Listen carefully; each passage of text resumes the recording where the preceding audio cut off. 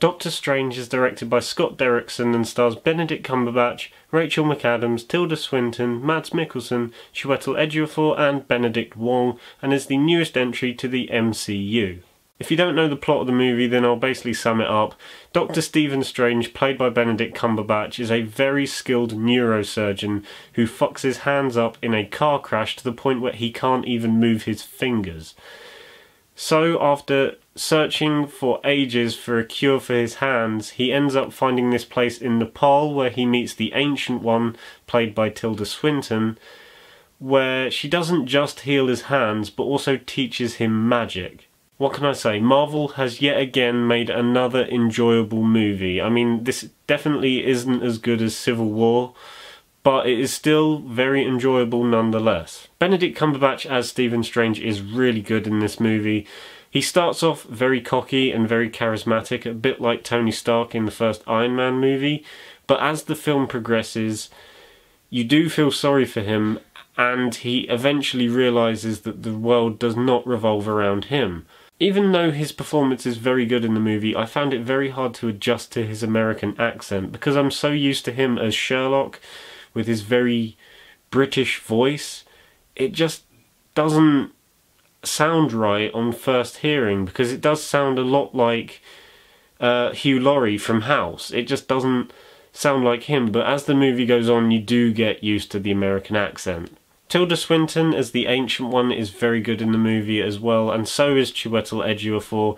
Rachel McAdams I thought was also a very good inclusion to the movie. She plays the love interest, but she's only in the film when she needs to be, which I thought was very good. She's not in scenes that are pointless. She's basically there when she only needs to be there, so I thought that was very good as well. The clear highlight of this movie, however, is of course the visual effects and the action scenes.